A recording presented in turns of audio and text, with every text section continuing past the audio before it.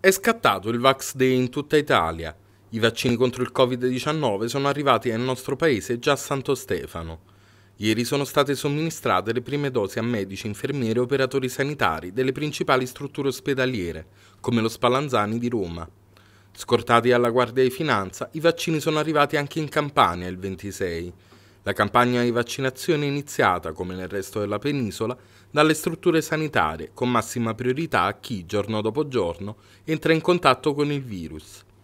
De Luca ha seguito l'avvio delle vaccinazioni nella tenda allestita all'esterno dell'ospedale Cotugno di Napoli e poi è andato in riunione con il direttore generale Maurizio Di Mauro. Al termine dell'incontro, De Luca si è sottoposto al vaccino nella direzione dell'ospedale napoletano e poi ha pubblicato su Facebook la foto dell'iniezione scrivendo Mi sono vaccinato, dobbiamo farlo tutti nelle prossime settimane.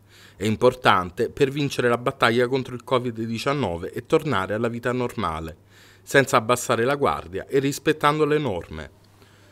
Dopo questa scelta è scoppiata la polemica, capeggiata al sindaco di Napoli Luigi De Magistris, in costante contrasto con il governatore. Trovo davvero inqualificabile e indegno l'abuso di potere del presidente De Luca, che approfitta del suo ruolo istituzionale per vaccinarsi quando il vaccino, nelle prime settimane, deve essere destinato esclusivamente a medici, infermieri, operatori sanitari ed anziani dell'RSA. La salute del presidente De Luca, conclude il primo cittadino, viene purtroppo prima del popolo campano si dovrebbe vergognare e chiedere scusa. Critico anche l'europarlamentare e dirigente nazionale di Forza Italia Fulvio Martuscello.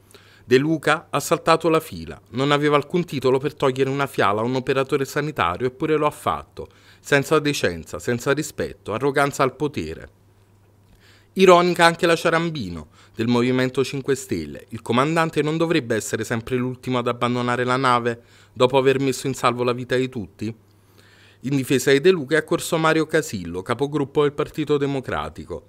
La decisione del presidente Vincenzo De Luca di vaccinarsi rappresenta un gesto coraggioso e allo stesso tempo volto a lanciare un messaggio di rassicurazione nei confronti della popolazione, insomma un invito ad aderire alla campagna vaccinale.